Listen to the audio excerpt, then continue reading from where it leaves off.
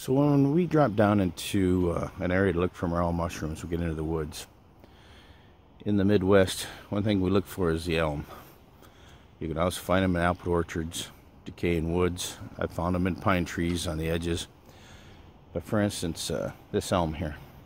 This is exactly what you want to look for. You get in the woods, look for the dead trees.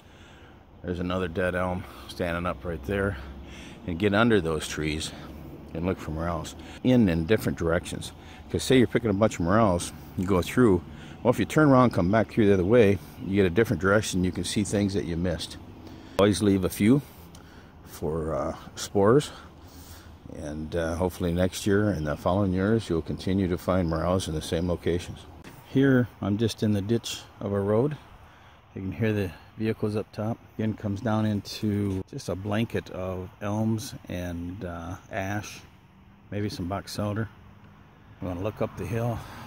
You see another one right there. So just in a couple minutes here, we've picked oh, half a dozen. These here that we're finding, these are the early grays. There are a few of the small white and yellows, but uh, they come on first before the uh, big large yellow morels start to come out. Now here's another dead elm. It's real close.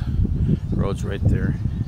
One thing about morel mushrooms is you can uh, find one or you can find a couple hundred.